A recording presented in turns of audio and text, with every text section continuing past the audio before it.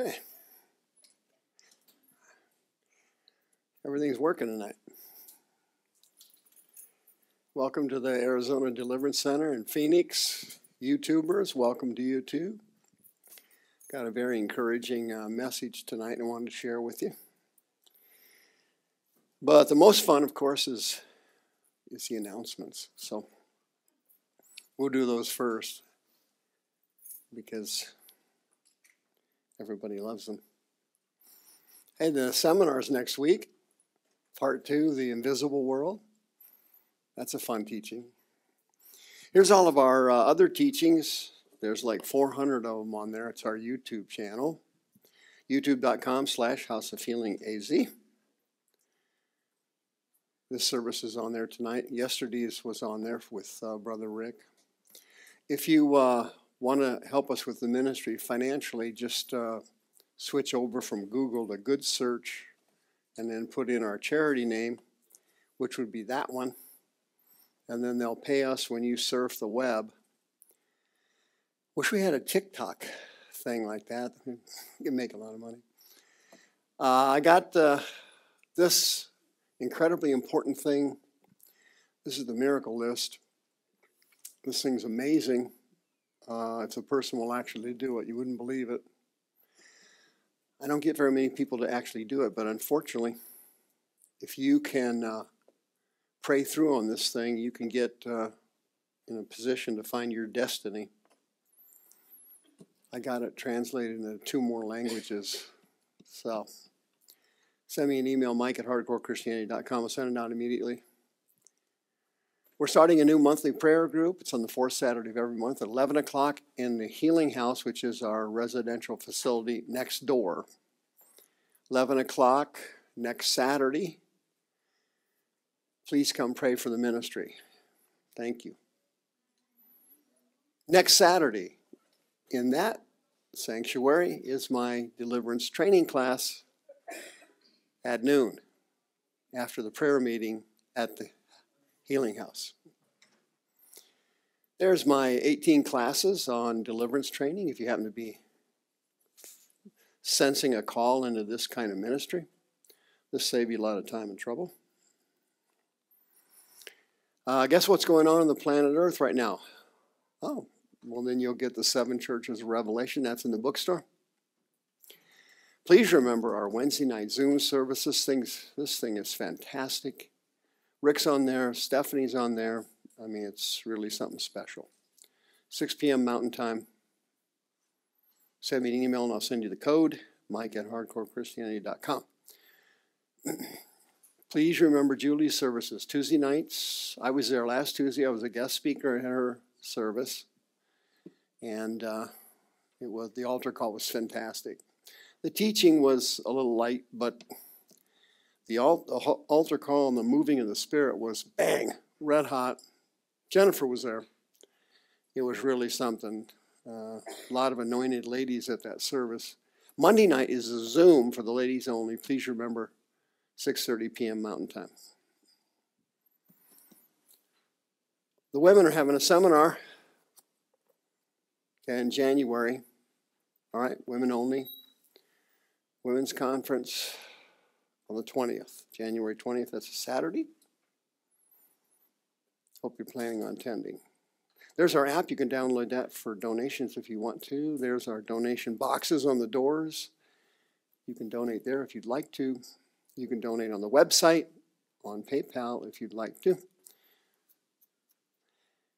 I've been on the radio for over 20 years here in Maricopa County. Collect all my shows and archive them. They're right here. Just go to the home page on the website, hit the media button, and then hit the streaming radio, and they're all right there. I'm on every day, Monday through Friday at 7.30 in the morning, and I'm on Saturday afternoon and Sunday afternoon on 10:10 a.m. and Sunday mornings at 8 o'clock, I'm on 1100 a.m. Conservative Talk Radio here in Phoenix. Sundays at 8 a.m. Then my podcast is at 9 a.m. on Sundays. Just go to twitch.tv and put in HCCADC, and you're there. See you Sunday morning at 9. YouTubers, now, I want you to set up an ambush team in your church and I want you to start your healing and deliverance ministry. Do not despise small beginnings. You may have one person to pray for and get healed, but as soon as that person gets healed, you'll be shocked. Word of mouth will just carry the thing all the way through, and you'll be having a line of people standing up wanting to get healed. I guarantee it. You need to start that right away. Do it in secret. I wrote three books, they're in the bookstore one on curing mental illness for Christians, one on Satan, one on divine healing. All of our programs down here are on these platforms Kelly set up for us. And on these platforms, those are the code words, okay? We're also on Rumble, HOH HCC, and you'll see all of our programs there. I'll see you in Carlsbad, California again, December 23rd, that's Saturday. California. Okay? And uh, we'll be there at 10 o'clock in the morning at the Senior Center. I like to go there because I am a senior and seemed like it would be comfortable to go there. it's on Pine Street, so you know we're going to have a great meeting. Suite 100, we're in rooms A and B, and uh, you know what's going to happen if you've been there before. Teaching on deliverance, and then bang, altar call, and then human garbage. Hey, you know, I've done a lot of teaching over the years on the spirit of rejection. He's a monster. He's all over the country. He's manifesting like crazy right now. If you've ever seen the news and seen Black Lives Matter, Antifa, Palestinian riots, and so on, behind all of that from childhood is this spirit of rejection that got into these kids, and he has he's tearing this place up. But his main job when he gets into your brain as a child is to make you feel like you're trash, like you're unworthy, like you're a loser, like you're a piece of crap, like you're human garbage. Okay? And uh, he does it to everybody. Trust me, you're nothing special. Uh, he treats everybody like trash. He's not singling you out for special treatment. Everybody gets treated like garbage by him. You're nothing special. The devil hates all of us. He is an indiscriminate hater and an indiscriminate destroyer. You're not being picked on, he picks on everybody. You're not being hated more than others, he hates everybody. And he's trying to destroy your self concept and your self esteem so that later on in life, as you grow up and after you get saved, you will amount to a Christian. Why? Because no Christian can be powerful or successful who has low self esteem and who sees himself as an unworthy person. You will never be a successful Christian if you have that in your soul. Okay? You will always be a yo yo Christian, doing well today, tomorrow crashing, doing great today, tomorrow you're down in the dumps. Feeling like a champion today, tomorrow you're human garbage. Up and down it goes year in and year out for the rest of your Christian life. If you don't get over this and get that spirit out of there, your Christian life is doomed. But I got some good news for you. And here's part of it. Check this out. Paul's talking to the Corinthian church. You know what happened there? he set up this incredible church. It was on fire, it was full of power, and then the devil moved in. What a surprise. The devil moved in and turned the Corinthians into carnal Christians. And here Paul's writing them several letters. We only have two of them, but we know he wrote several more. 1 Corinthians chapter 6, here it is. Do you not know that the unrighteous will not inherit the kingdom of God? Don't be deceived. Neither will any of these inherit the kingdom of God. And then he gives us his big 10. Remember that? And there they are. Number one, who's not getting in? Pornos, sex perverts. Who else is not getting into heaven? Idolaters. Who else? Adulterers. Moikas. What's a moikas? It's a heterosexual adulterer, like like a player, like a like a swinger, like so it's heterosexual sexual sin. Yeah? Adultery is heterosexual sin. Fornication is all forms of sin, any form of sin. Could be anything. Necrophilia, pedophilia, incest, bestiality. If you can name any sex sin at all, that falls under the category of fornication. Adultery only applies to, yeah, males and females. And I don't want to get in a big fight over that, but they, they used to call them males and females. Let's go back a bit. So it's heterosexual sex. Okay? That's what he's saying here, moikas. Who else? Feminates, malachus, males that are soft and weak like females, self abusers, wow. Male perverts who abuse other people, like a pedophile, for example.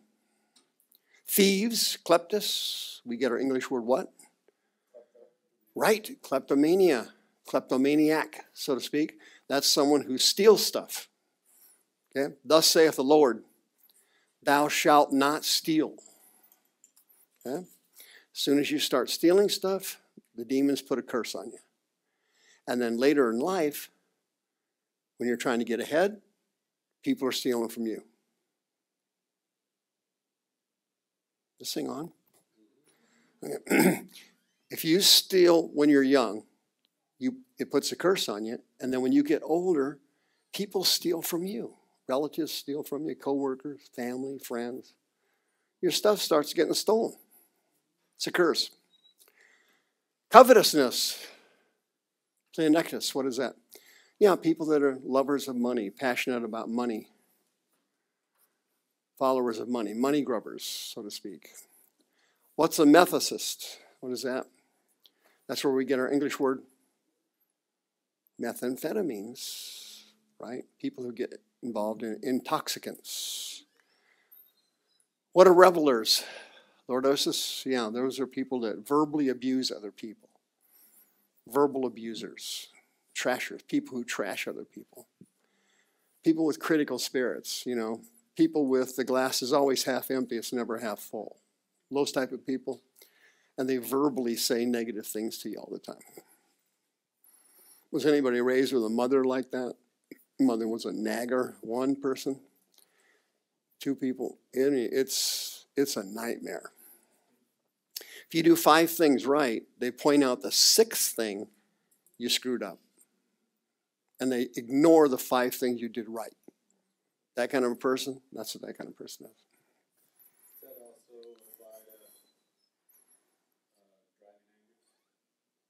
Apply to what? Driving angry, yelling at people on the road.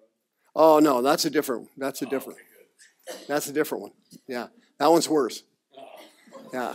Uh, I tried to let the guy off, but you're getting healed tonight, sir. Come down here. Extortioners. What's a harpax? What's that? That's people that hoard stuff out of greed, you know, material things, money, Bitcoin, gold, silver coin. And they do it with greed. They're greedy, so they're hoarding.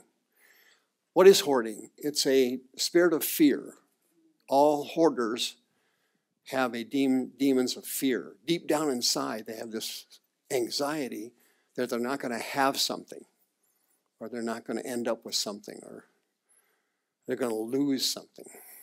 So they, they hoard it in there. Yeah. There's your big ten from the great apostle Paul. Those ten groups will not go where? Heaven. That's correct.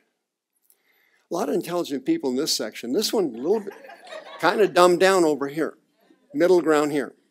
Good ones. Then Paul drops a bomb on the Corinthians. It explodes. Boom. You used to be just like them. There it is. But now you are washed in the blood.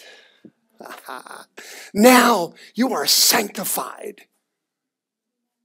Hagiadzo, you are set apart for God. You Corinthians. You are justified by God. Dikaiao oh, is a Greek word. It means to be declared innocent when you're 100% guilty. They got you dead to rights. And God said, No, you're innocent. You never did it, even when you did it. You committed adultery, you lied, you cheated, you did all that, you got caught. And mercy said, No, you never did it. Justification.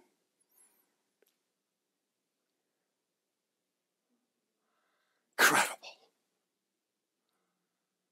That's incredible.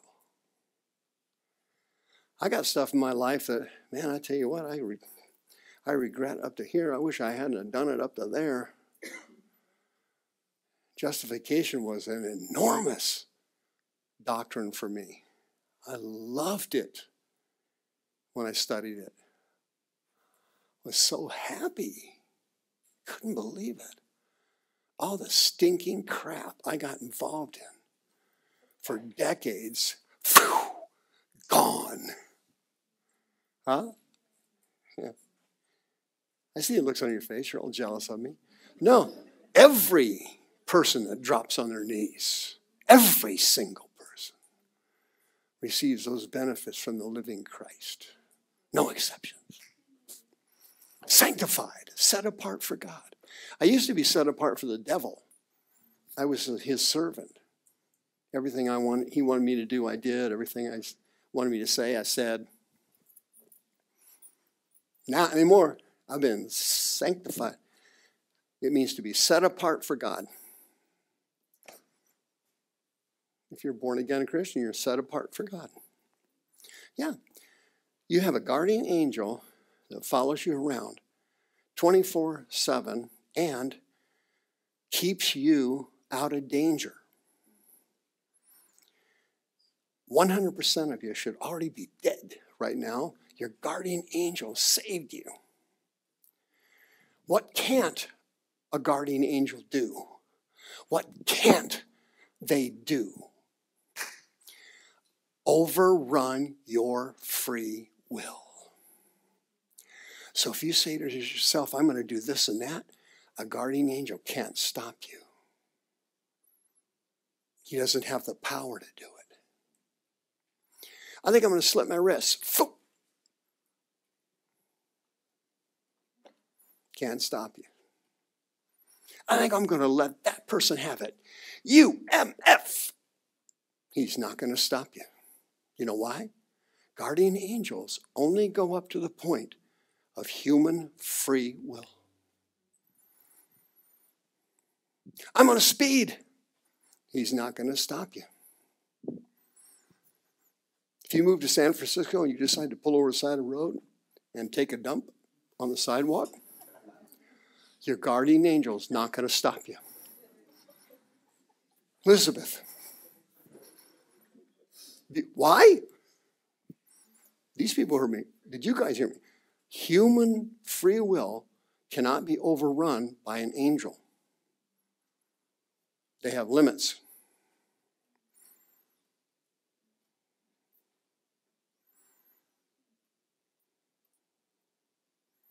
The car accident you didn't get in had nothing to do with your free will. That they blocked. Hello? Stuff that comes at you in the spirit world or in the natural world that you don't see and don't know about, your guardian angel steps in and he protects you. He protects you. Not a sinner. Sinners don't have them. Only born again Christians have guardian angel. But if you decide to knock off a batch of porn tomorrow, your guardian angel is helpless to stop it. He doesn't want you to do it. He, it makes him sick to see you do it, whatever, however, but he can't stop it. He doesn't have any power.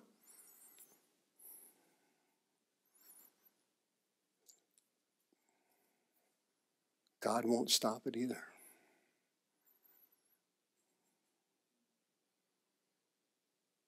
That wasn't part of the Bible study. I just threw that in. See, that's a bonus. That's bonus material. Look at this. Such were some of you. You were all a bunch of stinking adulterers and covetous and liars and thieves. All you Corinthians. You're all rotten to the core. You used to be just like them, but now you are washed in the blood, justified, sanctified. Cross of Calvary. Wow. There it is, right there. In whose name? In Jesus' mighty name. By who? The Holy Ghost. This is a great verse to memorize because it sums up the whole gospel. This little section here kind of sums up the entire gospel of evangelism. It's the whole concept of evangelism. Everybody's a rotten, stinking, crotch rot ridden sinner. And suddenly, they drop to their knees at Calvary. A miracle happens.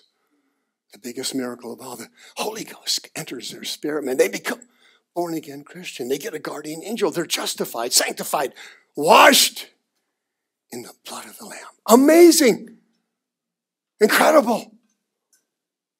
Mercy even covers the silly stories I tell here. See? You might be thinking, hey, these, these stories are asinine. Yeah, they are, I agree. But mercy covers it.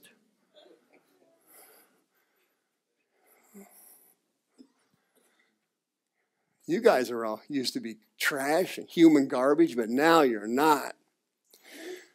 How does God do this thing? Well, let's check it out. Who's this guy? Let's watch it. All right, this guy, they call him the miracle man. Why is that? Let me go over the smart section. Why do they call A. A. A. Allen the miracle man?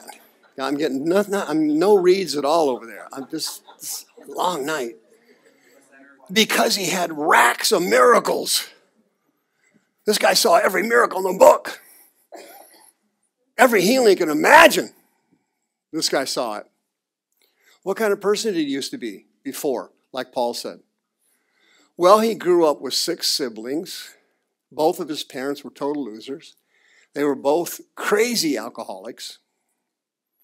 His parents grew moonshine and tobacco, or they made moonshine. They used to put booze in the baby bottles for the kids and watch the kids stagger around the living room drunk, and they would laugh at it. It was evening entertainment. They didn't have TikTok back then. He started smoking in preschool. A.A. Allen started smoking in preschool. How the heck does a four year old kid start smoking? I don't even know, but that's what happened to the poor guy. Wow. At age four, he was a stepdad was an abusive alcoholic. Beat him, beating on him. He ran away at 11, he ran away at 14 to get out of that stinking mess. He died in a hotel in San Francisco on June 11th, 1970. Let me ask you something. Looking at this guy's background, in your opinion, is this a great person with all kinds of potential? Is this somebody you'd call lucky? I don't think so. Who's that guy? Oh, who? William Branham. William Branham. Believable. This guy had so many gifts and so many miracles, it was pathetic. He had the gift of knowledge at such a high level, he would have the person come on the platform and tell them their phone number or their address or something. I mean, this guy was enormous. He had so many healings, it was ridiculous. Hundreds of them. How the heck did he get all that power? Well, it must have been, he must have been raised great, wasn't he? Well, wait a minute here. His mom was 15, his dad was 18 when he was born. He lived in a shack in Kentucky. The floor was dirt. Raised in total poverty. Moved to Phoenix when he was 19 to work on a ranch. Younger brother died. He had to move home to help take care of the family. He had appendectomy one day, but had a near death experience, and God called him while he was having his surgery. Died in 1965. Now, is this somebody you would say, "Boy, this guy's got a great background? Well, he's really something special. I don't think so. Who's this guy? Yeah. What'd he do? Azusa Street revival. Biggest revival ever hit America. He started it. This guy must have been raised royalty, right? I don't think so. His parents were slaved and lived slaved and lived on a plantation. Okay? He was a field worker as a child. He never even went to first grade. He had seven siblings. They were all broke, all raised in poverty. He had self taught to learn to read. All he had was a Bible. He got smallpox when he was a kid and was blind in his left eye. 1906 started the Azusa Street Revival in Los Angeles. Died of a heart attack in 1922. Died in his wife's arms. Well, this guy doesn't sound like he was very lucky either. No, he, he wasn't. Who's this person? Well, this is the, this human being right here. You take a look at it and you go, boy, there's nothing there. Yeah, I agree. Looking at her, there's nothing there. But you take a look at her background, and father died when she was a kid. Farm laborer when she was in grade school. Grew up, married a guy named Woodworth, who was a wife abuser treated her like garbage, suffered from depression, cheated on her constantly, constantly verbally abusing her, running her down. Five of her six kids died. She buried five of her six children. Only one of them buried her. Her second husband, Etter, was a great guy, loved the stuff out of her. She buried him too. And she died at, when she was 80 what happened? What kind of a ministry did this woman have? Well, she was the most anointed human being that ever lived in Arizona, in the United States. Miss Gal was at the top. She was kind of like our Apostle Paul. When she came to town as an evangelist, the whole town shut down. Everybody got saved. Everybody got healed. The bars shut down, the whorehouses shut down, everything. Everybody got saved.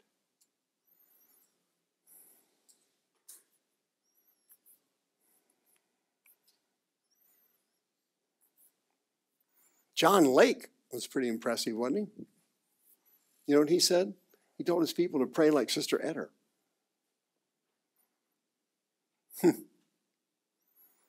she didn't have a very good background either, did she? I don't think so. Kind of a lot of sadness and heartache in her childhood. All of these people had were raised very poorly, were they not? Who's this guy? Yeah.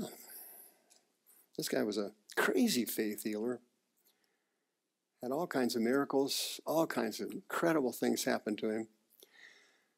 His dad was a gambler when he was young. He was a drunk. He left the family. His mother was stuck raising seven kids alone. She couldn't do it, so she had to park a bunch of them in an orphanage. One of them was Jack. He sent to the orphanage at age eight. His brother got hit by a car when he was young. At age 17, he left the orphanage. He was already a full blown alcoholic at the time.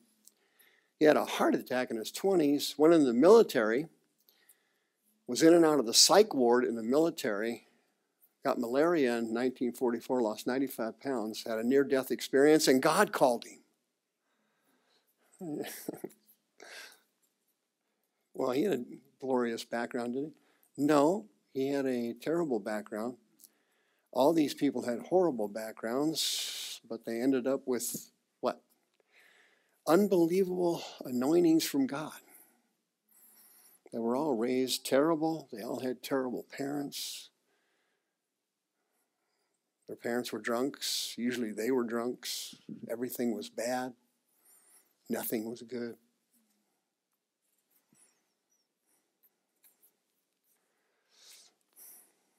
Everything sucked.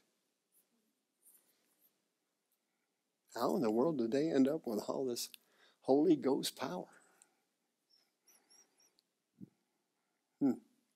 Well, it's, actually, this is all biblical, what I'm showing you here. This is regular people in this generation, but King David was a, uh, an adulterer and a murderer. He ended up the greatest king in the history of Israel.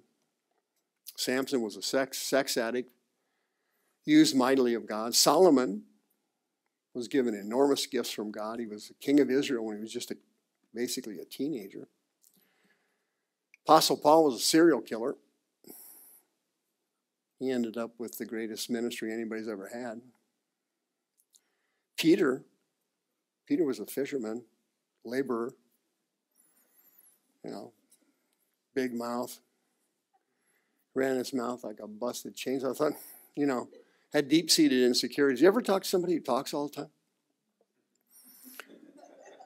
Don't raise your hands, but or don't point at anybody. But those people have deep seated insecurities and, and they have deep seated anxiety running in their soul, so that they're always talking to you and telling, playing things to you, but they want you to understand what they're saying. And what is it? You listen to them because they fear you don't listen to them. It's, it's subconscious.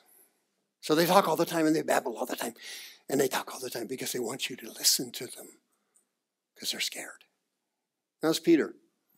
He had a big mouth, ran his mouth all the time, scared little boy.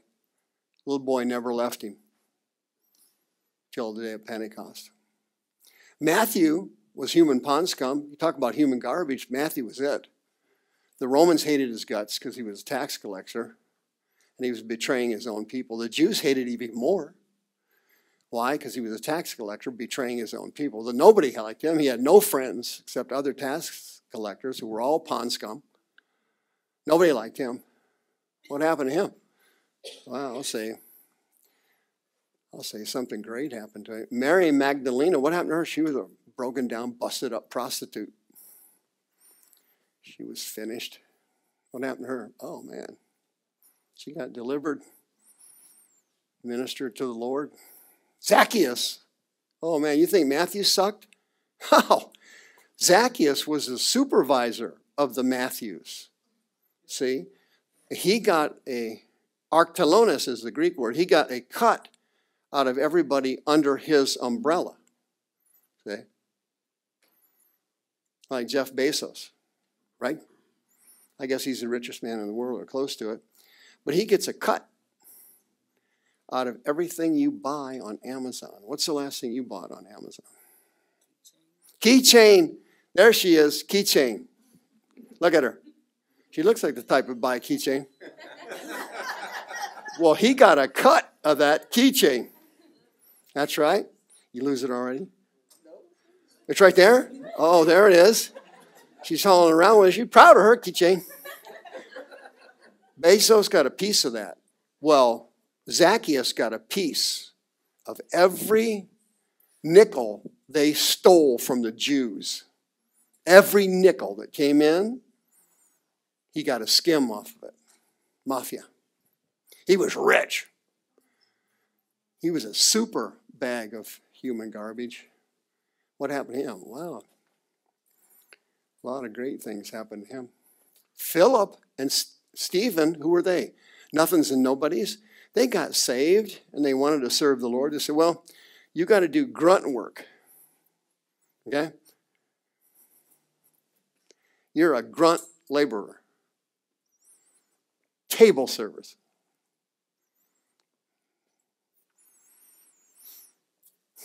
You know why there's so many Christians now who have no anointing? They're just basically useless. They want to start out up here. They don't understand that God doesn't do that. He flips it. You start out down here, and I'll bring you up here. Nobody heard that. Stephen and Philip got that. They said, Hey, I'll serve tables. What happened to them? Well, a lot of great things happened to them. Why? They were table servers. There was nobody special. They were no big deal. Abraham, Isaac, and Jacob, oh, liars, deceivers, they had character flaws. What happened to them? They were three of the great patriarchs of the Old Testament. What about Joseph as a kid? What was he like? He was Peter when he was 12. This guy ran his, ran his mouth like a foghorn on a live bait boat. Maw. This guy was a complete loser. They were so sick of him. You know what they did with him? Dumped him in a well. Let me, let me explain something to you. When you get dumped in a well, you got problems. You got a problem. And it was his personality, not the well. What happened to him? Well, Prince of Egypt. Wow. Rahab, what was she? Some broken down hooker, and what'd she do? Wow. Saved the spies. They saved her life and her family. Everybody in her family was saved. She was a scummy person, wasn't she? Yeah, of course they were. Who, what about Gideon? Well, he came from a Mickey Mouse family tree. There was no nothing of any value in his family tree. He even told Jehovah that. He said, Well, who am I? My family, it's there's nothing to it. What happened to Gideon? Well, a lot happened to Gideon. What about Aaron? Oh, the Peter of the Old Testament. Aaron loved to pontificate. He was a pontificator. If he had a thought, he had to share it. If he thought about something, he said, It must be right. I thought of it. And if I thought of it, I need to share it. You ever been around somebody like that? Kind of makes you want to go back to drinking, doesn't it? People run their mouth all the time. You wish they'd just shut up. No, no chance. not, not Aaron, man. God even pointed it out. He said, Moses, Moses, listen, I need you to go to Egypt. Stop making excuses. Look, hey, there's your brother over there coming up the mountain there. I know he talks well. I mean, Aaron talked so much and ran his mouth so often. In heaven, they heard the guy. They were sick of it. You know, when the people, when when angels in heaven are tired of listening to you talk, you talk too much. Guy was a certified idiot. What happened to him? He became the high priest of Israel. Wow. Manassas, what happened to him? Oh, he was eight years old. Eight years old. You're the king of Israel. What could possibly go wrong? What could possibly go wrong? Hell came to breakfast. He was the worst king Israel ever had. Bottom of the barrel. Human garbage. What happened to him? A lot of great things happening. You read these stories? If you haven't, please go back and read them. City of Nineveh. What happened to that? A city founded by the worst human that ever lived, Nimrod the rottenest, stinkingest, filthiest, nastiest, sinful person that ever lived, Nimrod, founded this city. God said, I'm going to burn this thing to the ground, but I'm going to give him one more chance. I'll contact my servant Jonah. And I'll send him over there and tell him. He'll warn him. Yeah, Jonah goes, I'm prejudiced. I'm a racist. I hate Ninevites. So what did he do? He did kind of what you've been doing over the years, only not near as dramatic. He ran away from God's call on his life. You've got a call on your life you haven't answered or you screwed up. You know something? You can have that call restored. It's restored. It's not exactly the call you got when you were younger, but God modifies it and keeps it. And Jonah ran from his call, and then through a series of gentle persuasions, he was he was able to go to Nineveh. Guess what God did? Yeah, the Ninevites, man, they let they uh, city of Nineveh lasted a hundred more years before it was destroyed. Hundred years after they repented, God had mercy on them. Wow, Mother Mary, what happened to her? She from low income, middle income family. Miriam was her name, right? She had the same name as Moses' sister. She was basically a nothing. What happened to her? Quite a bit happened to Mother Mary. My goodness. Shepherds were in their fields at the birth of Christ. What's a shepherd? Well, that's a, a labor job. You know, that's not a uh, CEO upper management position. You're out in a field somewhere smelling sheep 24 hours. You ever been around sheep? Uh, some of my relatives in the Midwest are in Illinois. They're, they have sheep. I visited there years ago. you know, I went out in the field. I didn't know anything about sheep. But I wanted to go out and see what they were doing. They, they, have, they have cattle, they have different animals. I thought, well, you know, I'm, a, I'm from the city. I'm a counselor. I'm sitting behind the desk. I'm going to go out in the field and check out the farm my relatives. They live in uh, Pittsfield, Illinois. Pittsfield, about an hour from Springfield. I went out in the field. I'm looking at the sheep. They're looking at me. They're looking at me like I'm a complete idiot. I'm talking to one of them. I was trying to do interaction. I'm talking to this one, and he starts pooping. you know, I'm getting a whiff of the place, and I, you know, you're kidding me. You hang around sheep all day. Okay, it takes a certain personality type to be around sheep all day. Have you ever noticed that? Okay, that's, that's not a high tech job. Sheep. Stupid. They even look stupid. They may have been intelligent, but to me they look like box of rocks dumb. And if they don't have any courtesy, then talk to me and, and stop pooping while they're talking to me. I'm, that's it for me. I don't have time. I don't have time for you. You're going to poop while I'm talking to you? That's it. I'm done. That's just the way I am. Don't do it. I'm out. You're going to do that? I'm not. I don't want to see you. Yeah. So I went. I went back in the house. Went back house. Shepherds. That's a low income job. What, what happened to them? wow. A lot of great things happened to them. Anybody with me? What about the woman at the well? Whoa, she was a gasping loser. Loaded with rejection demons. How do you know somebody has rejection demons? Well, while you're interviewing them, if you see a pattern of broken relationships in their lives, that's him. Divorce, divorce, divorce, breakup, breakup, breakup. Lost my friend, lost my friend. Breakups, constant, chronic breakups. That's them. That was her. She had four, five, six husbands. Living with a guy. All of them losers. She was destroyed.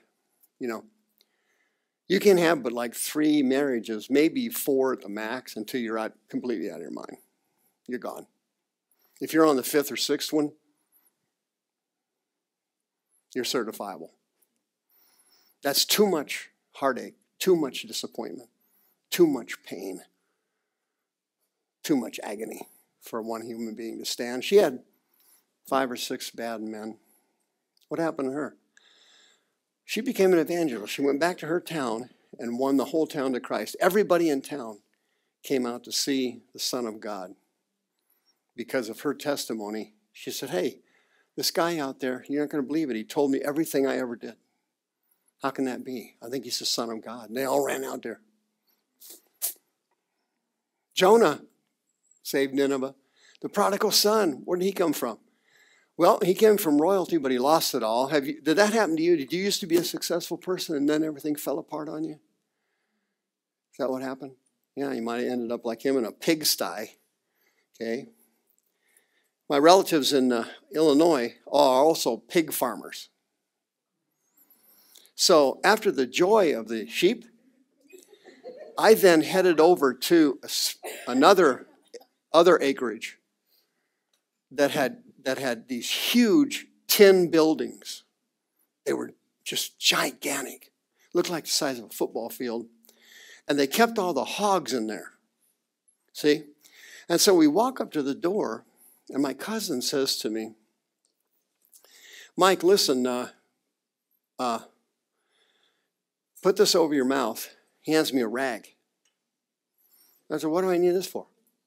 He said, Well, you know, some people uh, can't take the smell in when, when we go in to see the hogs. And there's, there's like, I mean, rows of hogs. These aren't a couple of piglets running around. This, this is a professional operator. Hogs everywhere. Hogs everywhere. Uh, have you ever been to Walmart like at midnight or one in the morning? Okay, use your vision, extrapolate it. Walmart rows of people with pants down to here, cracks up to here. Think pigs, pigs clear down there. I mean hogs clear down. I said, well, yeah, listen, you know, I'm an adult. I don't need a rag. Well, this is a no big. What are you talking about? I'm starting to think, you know, my cousin's a bunch of wusses. Okay, go on in, Mike. All right, let's go in and check out the hogs. Boom. Fright night. My eyes started watering. I grabbed the thing and stuffed it. Could not believe the stink in that building. It was the worst smell I've ever been exposed to in my life, bar none. Pigs. Pig poop. Unbelievable, asphyxiating stench. Am I exaggerating? On my mother's grave, I am not exaggerating. I, I, I, was, I stopped. I took a whiff in. I was, dear God, I wasn't even serving the Lord then. I started praying. I didn't know how to pray. I started praying. Was gagging myself to survive. Go on in, Mike. He's, he's fine with it. He's not wearing a thing. He just walks in like he's in a flower shop. I mean, that's an acquired smell? Really? I could not believe it. I swear it. I could not believe the level of stench in that building. It was frightening. Frightening. I was squinting, my eyes were dripping.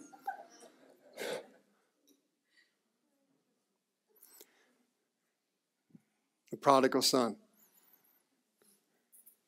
Yeah. In America, it's not immoral to raise pigs. There, it was immoral to raise pigs. That's why Jesus used that example. He was telling you that a human being can sink so low, but if they repent, nobody is beyond God's mercy. No one.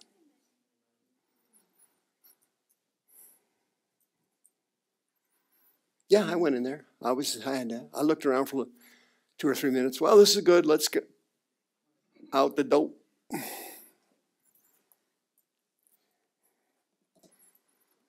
The Philippian jailer, remember him?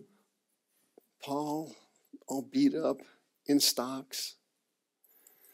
Jailers back then were brutal taskmasters. They beat people, they tortured them. What happened to that jailer? A lot of good things happened to him. Moses was a murderer and a fugitive? Wow. Moses was a typical born again Christian. You ask them why they're not doing something or why they're doing this or why they're not doing that. You know what they come up with? Excuses. They always come up with an excuse. Well, this didn't work out. That didn't happen. They didn't help me. They let me down. One excuse after another. Moses, the king of excuses. Nobody had more excuses than Moses. Can you imagine that? People come into counseling and see me and they give me a bunch of excuses. Well, I'm, I'm just Mike. Moses wasn't talking to Mike, he was talking to God. Now, that's another level of excuse that you haven't been around.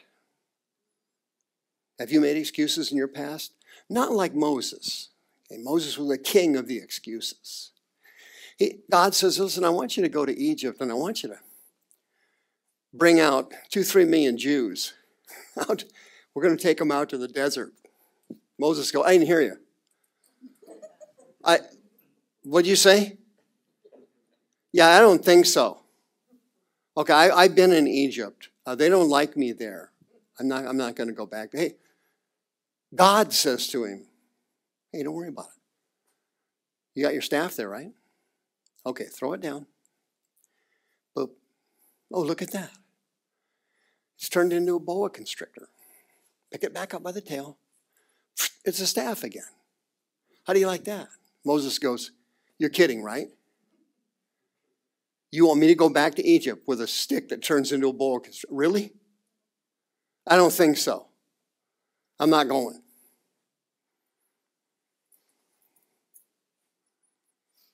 You read the story? You read that story? Well, Lord, you don't understand, man. I, I stutter. I mean, I was fine in Egypt, but when I left Egypt, I started stuttering. When I got out here with these sheep, I can't speak right. And the Bible says Jehovah got frustrated with him, started getting, started getting angry. I don't do that in a counseling session. I don't get angry at them. They just give me a bunch of excuses. I go, okay, that's where we are. God, no. You give God excuses right to his face? Are you kidding me? That takes a lot of nerve. That takes a lot of guts to do that. Could you do it? I don't think he would do it. He did it right to his face. I can't talk. I can't do this. I can't do that. I'm not, I don't have this. I don't have that. One excuse after the other. What happened to him? And a lot of great things happened to him. Remember that story? Sure, you do. Let's go back to Corinthians in the, the carnal church. Here we go. He says, You see your calling, brethren, ekklesis is an invitation. God is inviting you to your ministry. You got an invitation from God. Moses had one at the burning bush. He tried to get out of it, but he finally accepted it. He says, Brethren, not many wise men after the flesh and not many dunatos, powerful people, are called by God. I've already proven that. I went through a long list of ministers, right? Then I went through a long list of Bible characters proving that not many powerful people are called. Not many eugenes, people with royalty in their background, are called by God to serve. Those people are, they don't get in. God has eklego. You know what Legos are? You ever heard of Legos or to- toys kids buy? You didn't know that was in the Bible, do you? Yeah. Well, these Legos, you know, come in the box. And when you want to make something, you pick out a Lego. Pick that one out. That one clicks there. This pick this out. You throw that over there so your parents can step on it. And then you pick this, pick that up there. See, and the eklego is what the Greek word means to pick out. God picked you out of a box of Legos. He picked you. You were chosen, picked out of a group. Why? What does moros mean? We get our English word morons.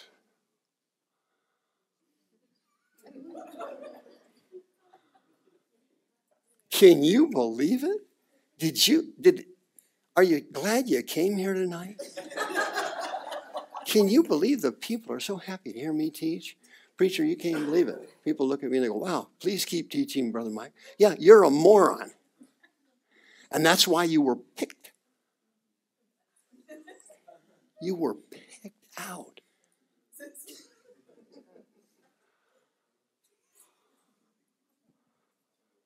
Now, I know some of you, and I know that's true. I also know God's picked you out. You've been picked out of a group, a box of Legos. You picked.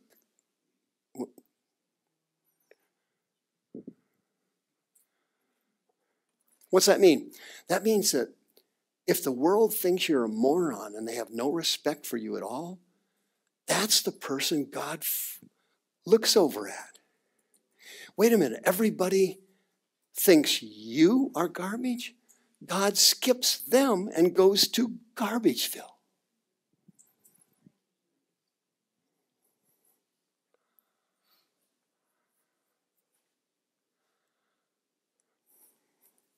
God chose the weak things to kataiskuno. What does that mean? Shame. Shame what? Iskoros. People who run and rule by force, you know, dictators, uh, the government, um, uh, dominant personalities in the family, trying to control everyone, narcissists, trying to control everybody in the family or at the workplace. God looks around and he goes, hey, here's a bunch of weak people, and the, here's the guys who are in control. I'm going to choose them. Like Lego, he picks out the weak ones first.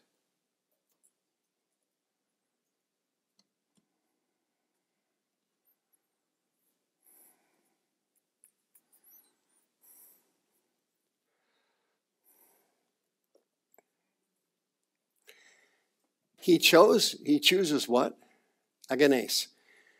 People who have no nobility.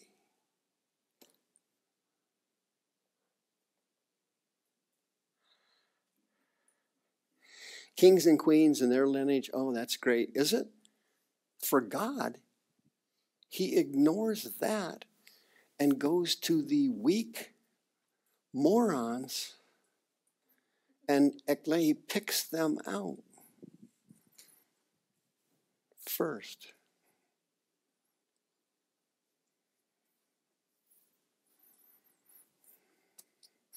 He chooses what?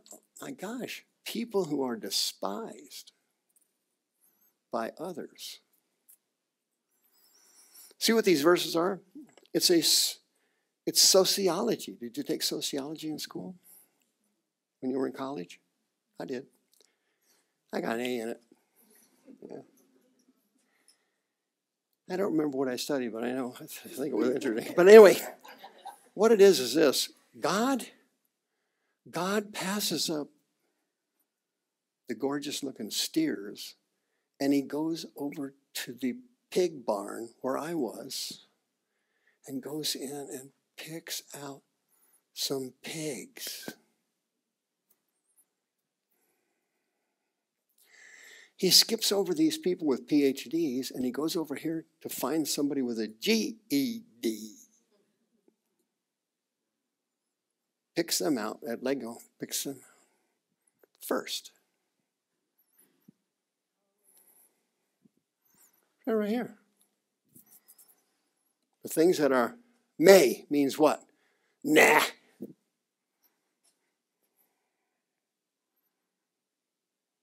You ever done that to anybody? I have. Nah. Nah.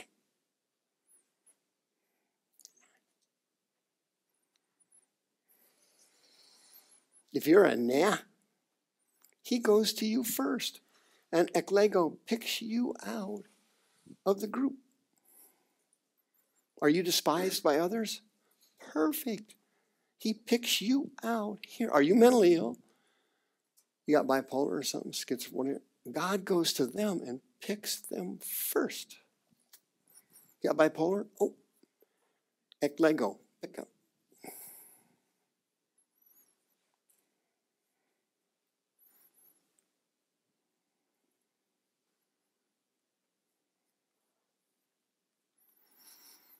Why does he do all that? Well, here it is, Katergale. To abolish the things that are. So that no flesh should glory in his presence. You know what's great about people that don't have anything, or people that are losers, or people that had bad upbringings? A.A. Allen, Sister Etter, Jacko.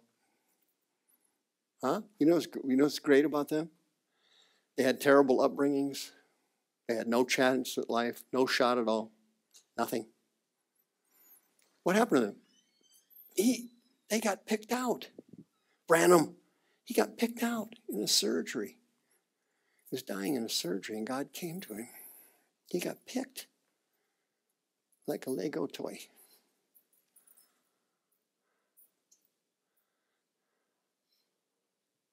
All these Corinthians, they were all sinners. They sinned in 10 ways. I read them off, remember? 10 levels of sin. What happened to them? God picked them out. Those faith healers had one miracle after the other. Why? They had horrible lives. Seymour couldn't even read when he was young. He worked on a plantation. Come on, that's the lowest of lows if you're working on a plantation. Right? That's it. Racism, slavery. I mean, that's the bottom of the barrel. Guess who went looking for Seymour? The Holy Ghost went looking for him. I'll take this guy right here. Yeah, he's picking cotton. I'll take this one. What about the plantation owner? What about the mayor? What about the governor? I'll pass on them. I'll take the sharecropper's son right here. I'll take him.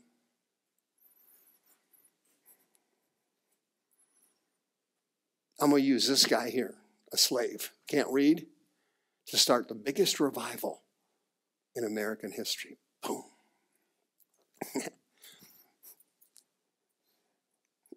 I'm going to take uh, this guy here, and he was smoking and four years old smoking, full blown alcoholic at eight. I'm going to take him down the Miracle Valley down here, down here, right?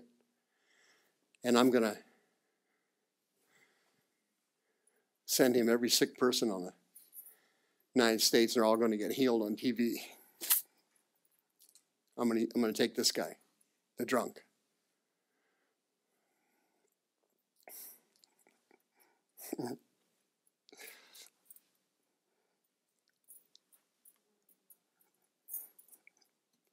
Why? Listen, people that are down here, when they're brought up here, tend to be less egotistical and less apt to take credit for what God does.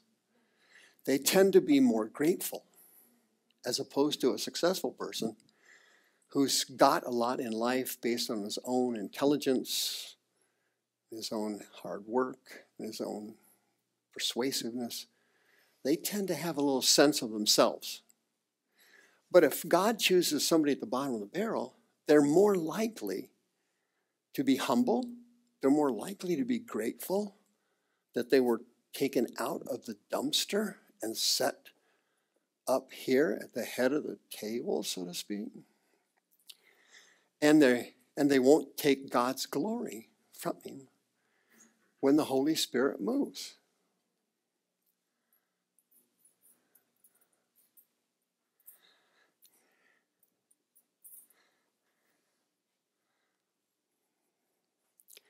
But he says, 1 Corinthians chapter 1, but he says of him, Are you in Christ? Okay? Who out of God is out of, out of God is made to us wisdom, righteousness, sanctification, and redemption. What's he saying there? Listen, I'm choosing choosing you, and you have flaws up to here, sins up to here, and failures up to here. But I'm choosing you deliberately okay, because I'm going to have my son renovate. With what? Wisdom, righteousness, sanctification, and redemption.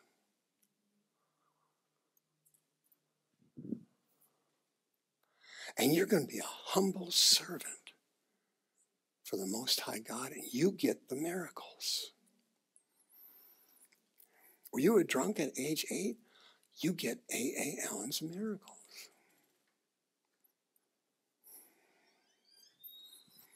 Were you a slave? You get to start the biggest revival in American history.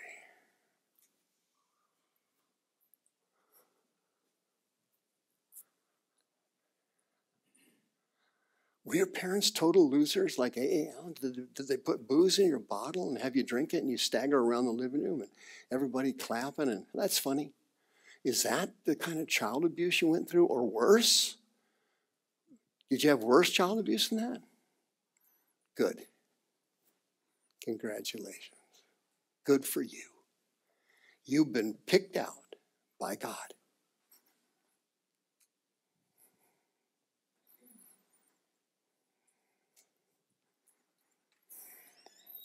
You a victim of child abuse? Wonderful. Thank you. Happy for you. Were you abandoned as a kid? Your parents walk out on you? Did they dump you in an orphanage like Jack Coe? Good. Good for you. Were you raised by step parents or adopted parents who were perverts? Good for you. Thank you, Jesus. Why? You've been chosen by God for miracles.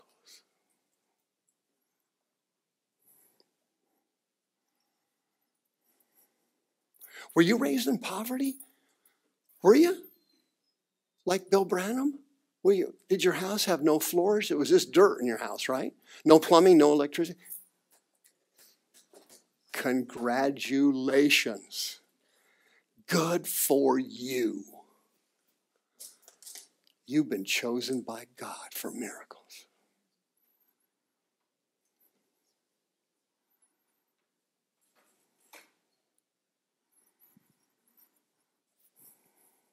Here he quotes Jeremiah chapter 9. This is what people who come from nothing tend to do.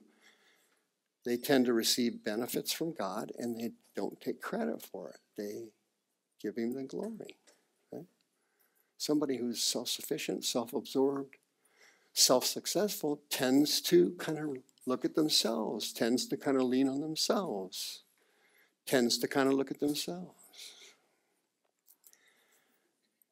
One of the miserable things about my ministry is helping people who are who have high IQs.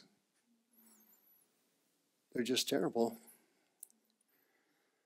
And I'm kind of at the age now where slowing down a little bit, so I usually give those to Stephanie. But anyway, um, people with high IQs are a major problem. major problem. They think too much. They're too used to self problem solving. See? And they're not humble. They don't have any brokenness because they're used to resting on their mind. I can figure it out. Those people, we can't get any demons out of them. It's so hard. Sad, too. Sad. I'm sad. I've had some really smart people come in my office. You know, and they sit down, and within 60 seconds, I already know they're like twice as smart as I am. So I know I'm going to probably end up yelling at them. and yelling is a blessing, an anointing that I picked up about 14 years ago. And it's, it's a method I use sometimes to try and shock someone who's, who's has a high IQ out of their intelligence. You know, I get right up in their face and I go, What are you doing? or something of that nature. It's all inspired. Don't worry about it. People that are something, particularly in their own minds, but legitimately are something, you know, they're hard. They, they, don't, they don't work well with the Holy Ghost. The Holy Ghost, uh, you know, his personality is very servant oriented you know? And he kind of gravitates to people that have servant's heart, not people that like to be in charge and the boss. He likes servants, see? Christ, the epitome of servanthood, obviously. Servants don't take the glory. Well, take a look at Jesus. Uh, here you have the greatest person in the history of the universe, and he's born in a Bethlehem, a nowhere place. Raised in Nazareth, kind of a neighborhood rat hole. His parents were nothing, they were working class people. After he was born, they tried to get a room at the hotel, but there wasn't one, so they went out to the barn. She has the baby out in the barn, and uh, I seriously, if, if I seriously doubt if it smelled like that pig farm I was at. Okay, I don't think they would have made it, but this was a regular barn. But a phatne is a food trough where you put grain and stuff in, and mules and horses or what have you eat out of it. So they cleaned out a food trough and they put God's Holy Son in a food bin that was his bed. The King of Kings. What's going on here? What's a tekton? It's somebody who works with their hands, you know, carpentry, um, upholstery, clothing, uh, bricklaying, whatever. We don't know what kind of profession Joseph and Jesus had, but we do know that it was a manual labor job. A tekton is a manual labor, somebody who works with their hands, somebody who builds things. So everybody says he was he was a carpenter. That's fine, could have been. Doesn't matter. The point being, there's no royalty in doing that. That's a working class, middle, lower class job. The point is, the point being made, a tekton that's not a elevated, glorious position. It's a living, you know. Jesus became a curse for us, and he became sin for us, and was butchered and murdered on the cross of Calvary. That's as humble as you can get, isn't it? When he died, he didn't even have any place to be buried. Joseph from the Sanhedrin, they had had a vote that day, and he voted no, don't kill him. Joseph was on the Sanhedrin, and he wanted he voted no, he should that he should live. Well, he was outvoted, and they took him to Pilate to, to murder him. And Joseph did an end around on him, and knew he didn't have a, a grave. He couldn't afford a grave. Yeah? He didn't have a sepulcher, no place to be buried. This is the Son of God. He didn't have a place to be buried. He couldn't pay his taxes and he needed a miracle to pay him. He said, Peter, go down to the lake, go down the stream, throw in the hook, and the first catch you get, it'll have some kind of money in it. Take that money and go pay the taxes. We don't have any money.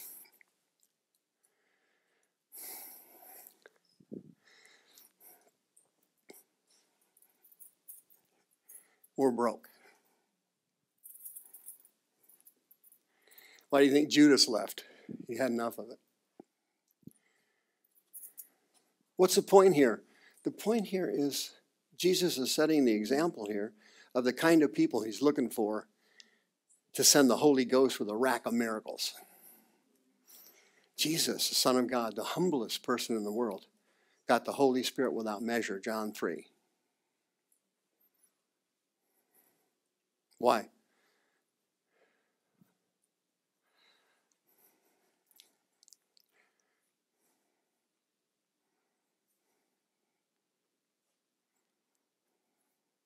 Wherefore, my beloved, Philippians 2, as you have always obeyed me, not in my presence only, but now much more in my absence, Paul says, work out your own salvation with, oh, wow. Listen, people that have pride and are arrogant are not able to do this. They cannot do that. Therefore, they don't get the miracles, they don't get the anointing, they don't get the special call of God in their lives, they don't get the glory of seeing people healed and delivered and whatever God has for you, they miss out on. They miss out on everything. The bus leaves them at the terminal. And they grow old and they fail and then they die. In that order. Humble people are different. Okay? Arrogant people sin, they don't give a rat's fanny. You know why? Pride. They don't care.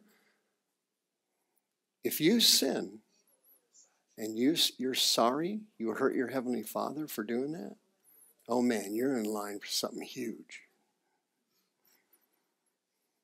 If you don't care, well, I got, I got greasy grace, it's covered. I'm fine. Yeah. Your chances of getting a miracle are slim to none. Humble people are sorry they hurt their Heavenly Father because they love Him. They're sorry they hurt Him. They feel bad about it. Wouldn't that be a normal reaction for somebody that loves somebody else and they've hurt them? I hurt you and I feel bad about it. Arrogant people are not like that. You're fine. Toughen up. It's all good. They just float over it. Well, those people aren't going to get any miracles. They're not going to get healed. They're not going to get any deliverance. That's not going to happen.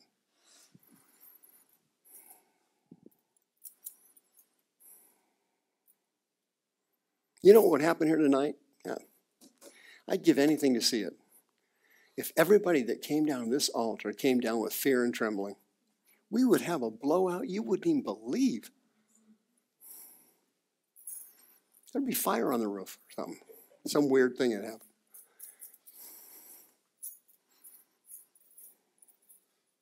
No. No, you'll you'll do it again. Is it altar? Well, okay, I guess I'll go down and try one more time. oh, oh man. If that's your attitude, would you kind of wave at me like that? So get Kelly to pray for you. I'll get over here. People that have fear and trembling over their behavior. Their Heavenly Father heard them, He saw it. Wow. Those people are in line for huge blessings from God.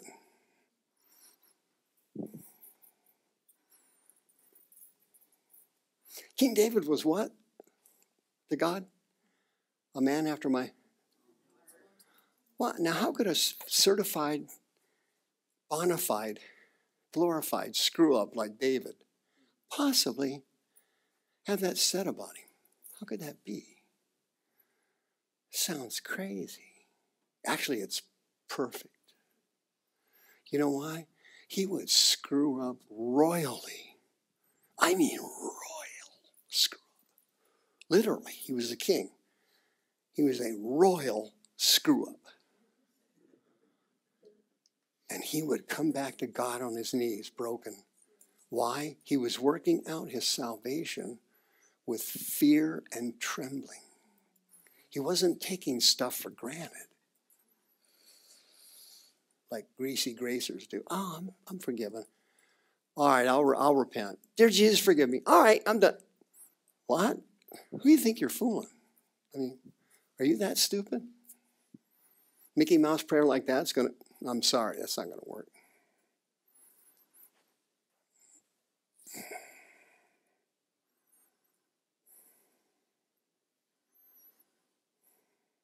Why doesn't that happen? Well, it's psychological. Psychiatrically, a human being that's exposed to repetitive, long term disappointments has trouble feeling God.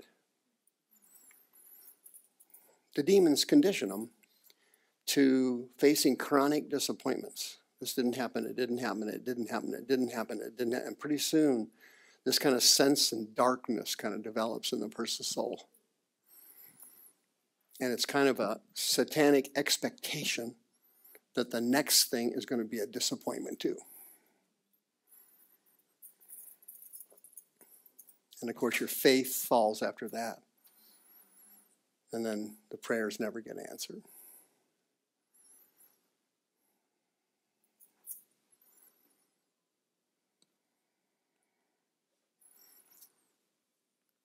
What happens if you do have this fear and trembling for God?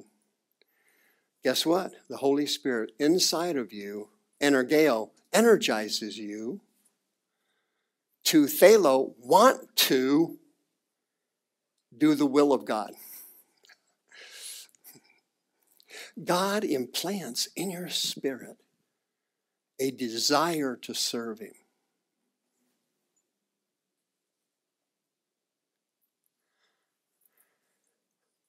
It comes from within. Energeo means to be energized, to be capable of doing something. Capable of doing what? Wanting to serve God. Most people don't serve God. Why? Because they don't want to pay the price for it. You mean I got to give up this and I got to start doing that? Oh, no.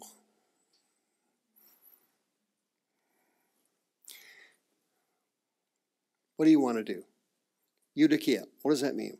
Things that God likes. What's he like most of all? You fulfilling your destiny. You got a destiny and a call from God in your life.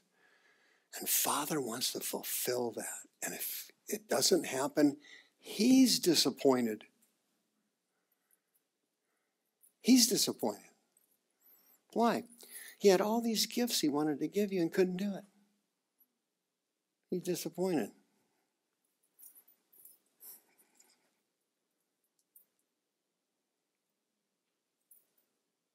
There's therefore now no condemnation to those who are in Christ. What does condemnation mean? Krino is a Greek word, it means judgment.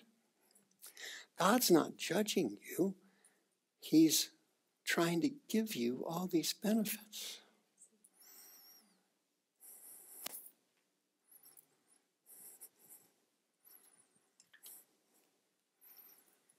God's a good God, the Bible says. God is love.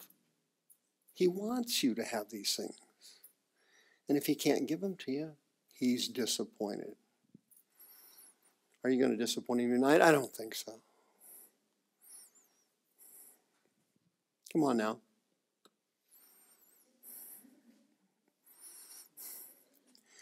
Raise your hand if you were raised like human garbage, like A. A. Allen, Jack Coe. Look at all the hands that went up. Look at all the hands that went up. These are divine appointments. See them hands going up? Those are special hands. You were raised like garbage. You guys were raised where I was with my cousins in a giant pig barn. And you've been eklego, picked out by God.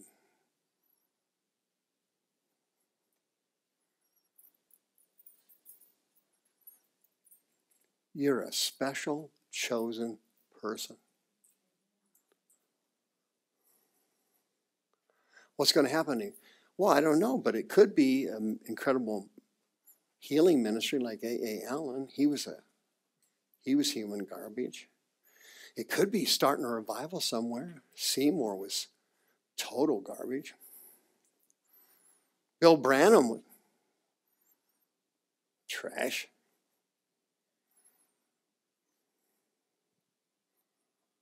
Sister Etter, wow. She had nothing. She was nothing. Nothing. It's the only, there's only one place, nothing is good. One place. That's at the cross. Having nothing is not good anywhere else in life except at Calvary.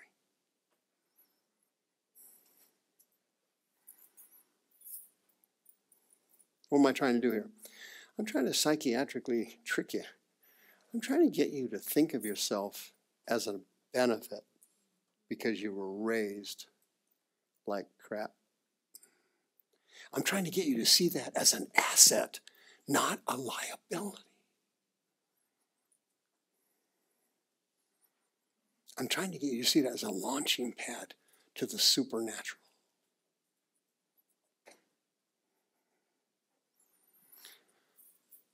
Don't raise your hand, but ladies, anybody here have four, five, six husbands? I hope there's several of you. Congratulations. Anybody who's had four, five, six hundred husbands is a complete loser. You are right in line for miracles from God. Five husbands? Perfect. Perfect. Perfect. There was a woman at the well that had five. She became an evangelist. Do you have a disability like Seymour? You're blind in one eye? Are you blind in your spirit, man? Are you, what is it? What's your disability? Do you have one? Good for you. Good for you. Perfect. Perfect. Did you have smallpox? Oh, good. Good, good, good. Don't raise your hand, but do you have herpes? Wonderful. How about AIDS? Anybody got that? Good, great. Fabulous. Great. Anybody here have no family? They abandon you? Good for you. God love you. Yes. Can I get an autograph? You are in line for the supernatural.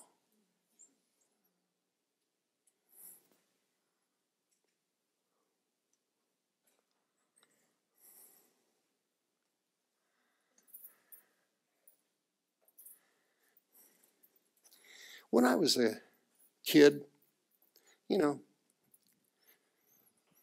I don't know if I ought to tell this story, but I'll take a shot at it. You know, my my parents were alcoholics, and you know, I had a kind of a crazy childhood. Uh, many people had it much worse, but you know, I was in my mom, my sister, and I. My sister was a couple of years younger than me we were in uh, fourth grade. I was in fourth grade. My sister was in second grade. We went to visit my grandpa in Kansas. And we came back to our house in Edwardsville, Illinois. That's where we were living at the time. My dad was a total loser and he was a truck driver. Truck driver. My mom was a homemaker they were both drunk and everything, and we didn't have any money and so on. And my mom and my sister and I, we come back from Kansas, and we go, we get home, and my dad's there, and there's a blonde woman there. Her name's Karen, and her two kids are there, and they were uh, younger than me. Uh, one was a boy, one was a girl and uh, they were like my sister's age, maybe like second graders or something. I didn't know what was going on. I was in fourth grade. I did not know what was, what was happening, but what had happened was my dad was having an affair with this woman. And he moved her into our house while we were on vacation visiting my grandpa. We come back, and of course, everything went to hell in a handbasket after that. My mother was drunk every night and just just destroyed. My everything was terrible. We ended up moving out and so on. But I wish I would have had. I wish I would have run into a brother Mike back then. You know what? I wish I would have run into brother Mike, and I wish he would have explained to me this story. You know, I wish I would have known this in Edwardsville, Illinois, when I was in fourth grade. Because I would have seen all that going on in my house. I would have said, man, this is great. I'm, I'm being picked out by God to do something for Him in life.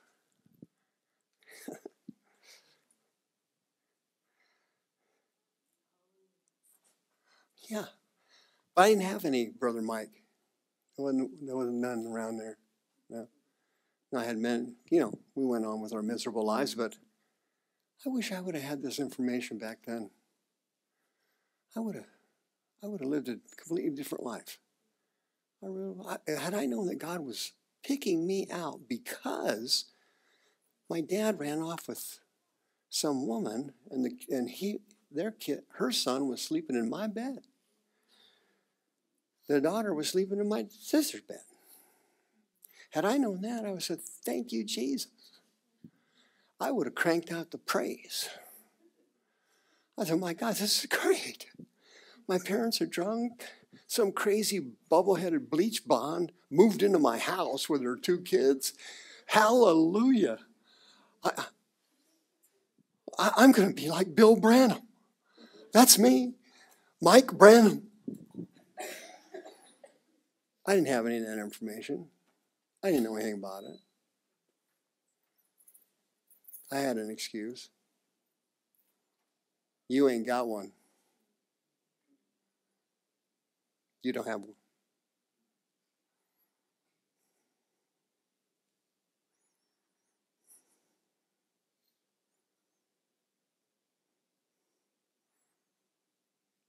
There's a target on your back, a Holy Ghost target. If that's how you were raised, or worse than I just told that story I just told you, something probably worse happened to you, worse. You were picked out by God, chosen by God. Base thing of the world, things that are despised, things that are not, to bring down the things that are.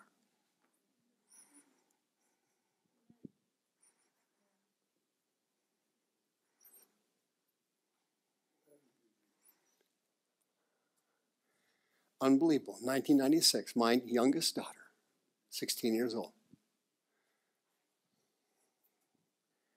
brought me home. I come home. Now I'm standing right here, hoping you'll do the same. Let's pray.